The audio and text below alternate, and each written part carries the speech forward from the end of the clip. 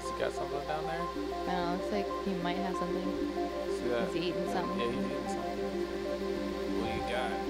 Fish or something? Oh, looks like a cucumber. Yeah, looks like he's eating a cucumber. Eating a cucumber.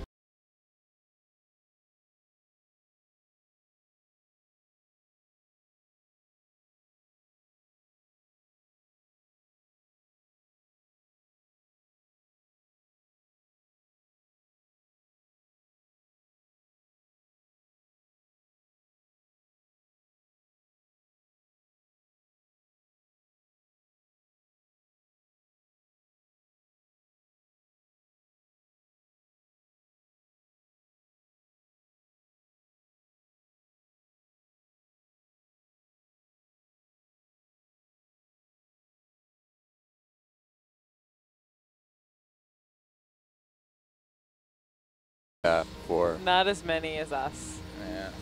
Yeah, but And his longer. claws don't spin.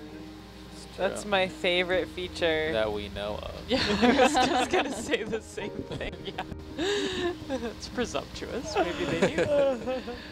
So I think he, he's definitely over 10 centimeters, maybe closer to 20.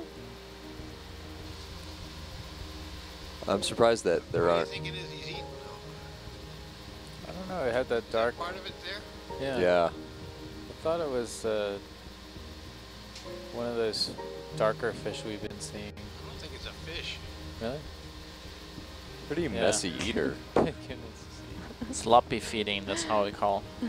Sloppy. That that's the actual scientific term for it. Yeah, sloppy feeding. And actually, it helps to enrich the sediments.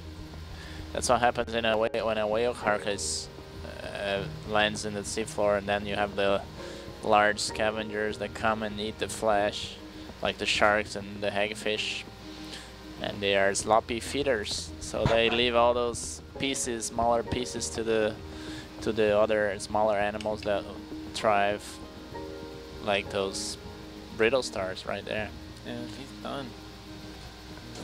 Yeah, so his carapace is like seven centimeters. The rest of him must be 30. That's pretty big. Moving on.